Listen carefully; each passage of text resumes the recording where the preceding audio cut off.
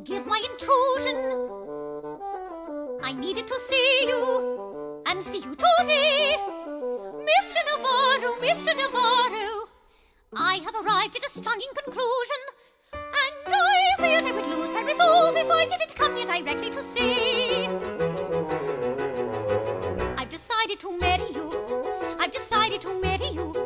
I've decided though Henry's gone that life goes on for me. I you. Though it's true there are quite a few who strongly disagree. Nonetheless, I will marry you. I confess that I'm frightened too, but unless I am wrong, you long for love as much as I. This is quite unconventional, I'll admit, but why should that matter a whit? And if you do not say yes at once, I think I'll die. Miss D'Ysquith, you've rendered me speechless. May I call you Phoebe?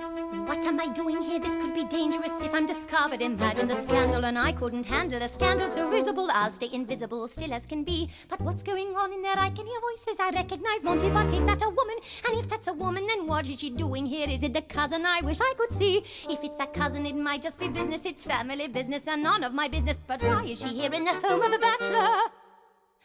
Of course, one could point out that I'm here as well. But does she not realize this situation puts her reputation severely in question? The merest suggestion could cause a sensation, and I cannot hear which is hell. I'll be warned not to marry you. Could go home. I'll be scorned if I marry I you. should go Still, I've decided to live my life and be a wife again. Who believe how my life is turned? After grieving, I quit. But learned that is nothing can bend the will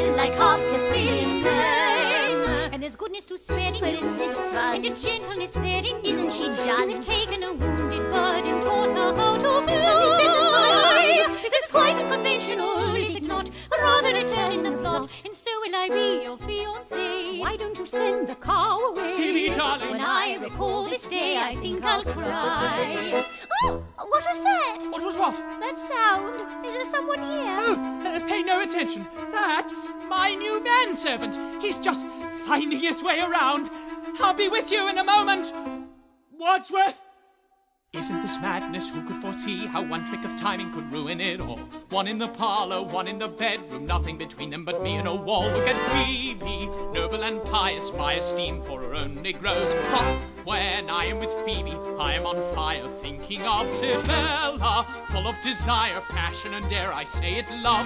But when I'm with Sibella, whom do I admire? None but Phoebe, perfect and lovely. Who couldn't love her? Heaven knows. Round and round and round it goes. How happy I'd be to be at your disposal, my darling. Of course, I accept your proposal. Now we should kiss. That would be bliss. Darling, but first I'll say this. I've decided to marry you. Phoebe, I've decided to marry you. Let the trumpet I hold the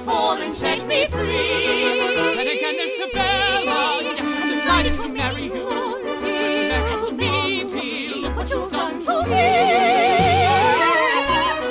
Phoebe,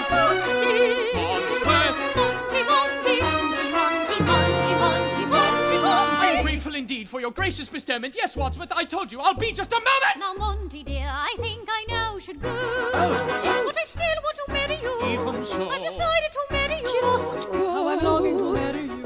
Yes, I'm delighted to marry you, marry you, marry you. You must go.